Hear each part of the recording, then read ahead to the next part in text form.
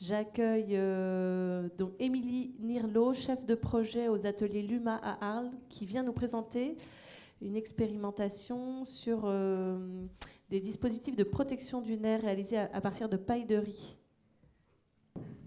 Euh, donc, bonjour à tous. Euh, donc, euh, effectivement, je coordonne un projet de recherche et développement en fabrication d'éléments de design biosourcés au sein d'Atelier Luma.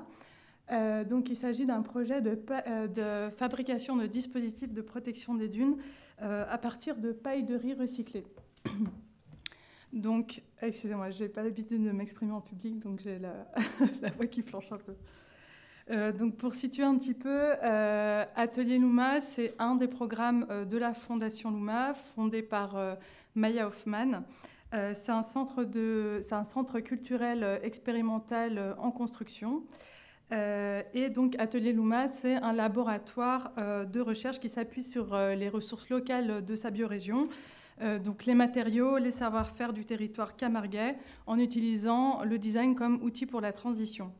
Donc, euh, on développe euh, des projets basés sur des matériaux biosourcés comme les algues, le sel, les plantes invasives, les déchets agricoles comme la paille de riz dont je vais vous parler, où on explore le potentiel de la matière organique pour créer de nouvelles applications et des prototypes euh, intégrés à des systèmes de production durable. Donc, euh, retour d'expérience sur le projet May Your Rice Never Burn, euh, que, le, que, le, riz ne brûle jamais. Ce projet est la première phase et la première application du projet de, recherche autour de la paille de riz. Euh, il a été conçu en partenariat avec euh, le parc naturel euh, régional de Camargue, l'accompagnement de la Tour de du Vala et EID, e Méditerranée qui nous a apporté une grande expertise scientifique. Il a été construit avec une architecte, Estelle Julien, et un collectif d'artisanes en vannerie sauvage. Donc, il a mis en lien euh, deux problématiques. Donc, euh, comment pallier à l'écobuage de la paille de riz en Camargue? Euh, donc, comme on lit en bas à droite, 90% des 40 000 tonnes de paille produites sur le territoire camarguais sont brûlées chaque année. Et deuxième constat, l'érosion du littoral. Donc, comment protéger l'érosion du littoral en agissant sur la gestion du capital sableux?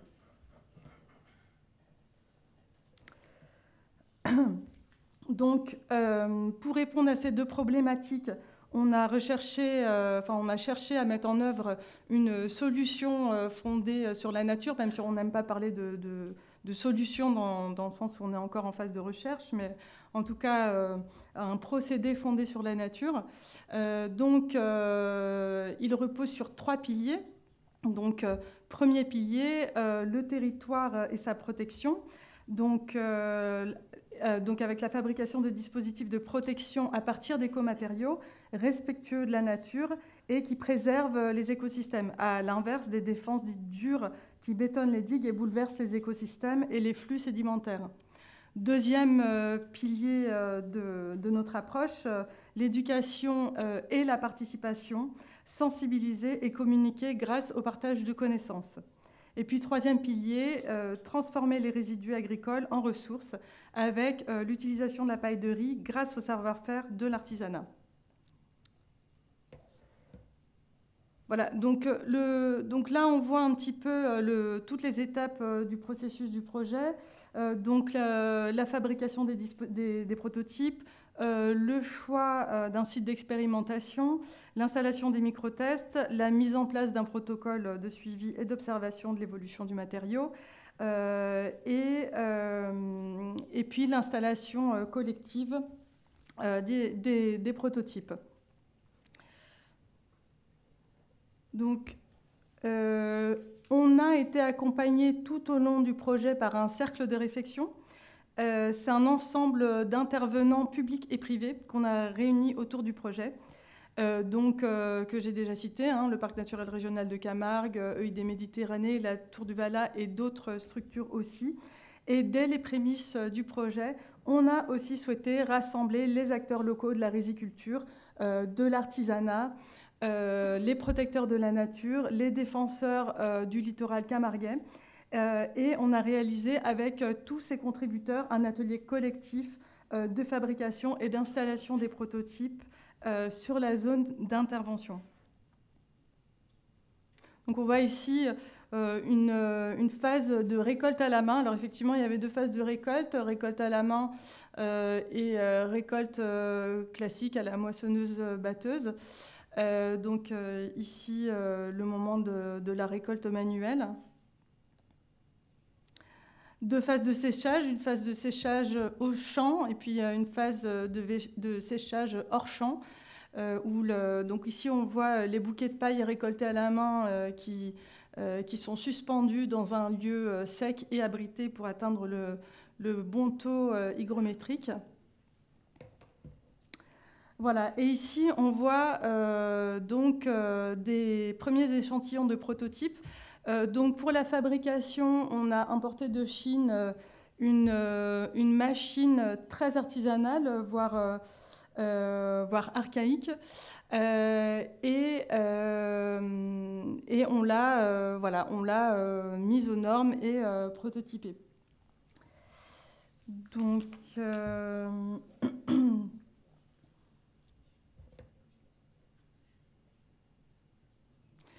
Donc voilà, pour le choix du site, nous avions comme périmètre de recherche cinq sites pressentis dans la zone sud-est du delta du Rhône, euh, la zone d'intervention choisie a été euh, la plage de Piémonçon, qui présente un cordon dunaire euh, très dégradé, avec une grande dégradation des groupements végétaux et une faiblesse morphologique qui nécessite d'être réparé. Donc, ce site est en effet en situation post-traumatique parce que c'est un site qui a été habité jusqu'en 2016, donc il a subi énormément la pression anthropique, et, mais aussi en raison de euh, euh, la réduction en fait euh, des apports sédimentaires dus d'une part à, à, la bétonisation des côtes qui en fait perturbe les flux marins et aussi au changement climatique. Donc on voit ici l'évolution du trait de côte avec les premiers relevés de 1942. Donc on voit bah, effectivement comment ça, comment ça avance, mais aussi comment ça s'accélère.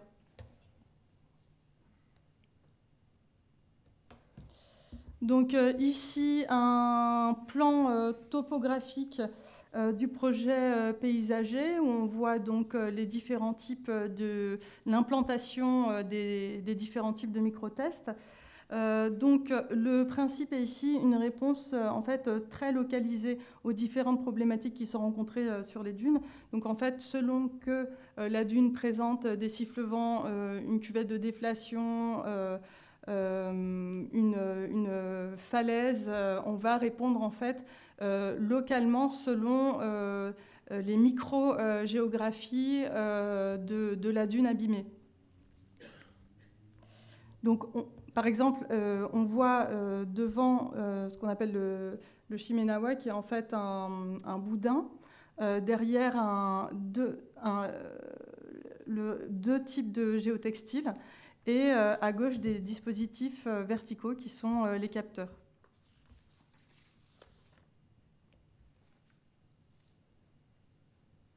Donc les types de dispositifs, donc on voit les protections verticales qui sont donc les capteurs qui vont permettre en fait de reformer la, la, dune, capter le sable, et les protections horizontales, donc les géotextiles qui vont euh, permettre de favoriser la fixation de, la végétation et euh, maintenir le, taux d'humidité. Donc ici, plus en détail, un, échantillon, enfin un premier prototype de géotextile.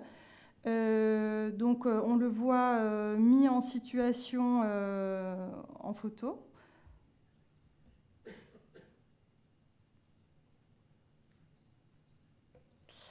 Euh, et ici, alors là, je vous montre seulement les prototypes qui ont été retenus pour la mise en situation sur le site. Il y en a eu une quinzaine, euh, il y a eu une quinzaine de, prototypes développés. Euh, ici, les capteurs verticaux qui sont ancrés dans le sol grâce à, des, à, de, la, de la canne de Provence.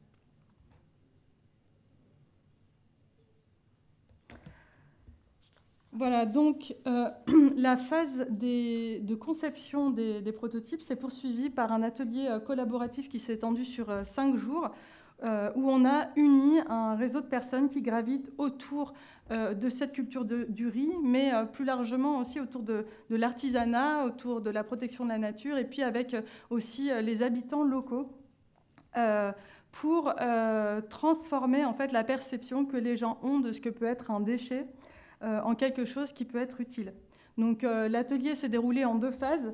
Euh, il y avait trois jours de finalisation de, la fabrication des dispositifs et puis deux journées où on a installé collectivement les prototypes sur la zone d'intervention.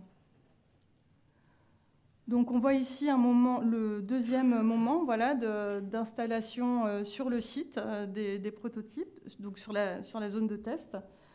Euh, donc une notion très importante qui traverse le, projet et qui s'est exprimée pleinement au moment de cet atelier, c'est la création d'un nouveau rituel sur le territoire avec euh, une aventure euh, collective cyclique qui revient chaque année, rattachant euh, les communautés au fort potentiel du territoire. Et deuxième notion très importante, la transmission de l'artisanat, qui est également un point très très fort du projet. Voilà, donc bien évidemment, le matériau a des potentiels qui vont bien au-delà euh, de cette première application du projet. On souhaite engager une deuxième phase de recherche et de développement pour une valorisation plus large euh, du matériau avec euh, des designers de très haut niveau.